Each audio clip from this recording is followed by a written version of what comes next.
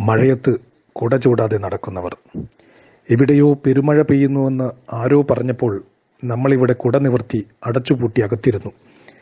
കണ്ണെത്തും ദൂരത്ത് കാർമേഘം ഇരുണ്ടുകൂടിയപ്പോൾ നമ്മൾ കുടമടക്കി കക്ഷത്ത് വെച്ചു.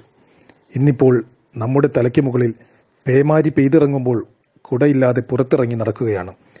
മഹാമാരി മതിച്ചു പുളയുമ്പോൾ കണ്ടില്ലെന്ന് നടിക്കുകയാണ് നമ്മൾ.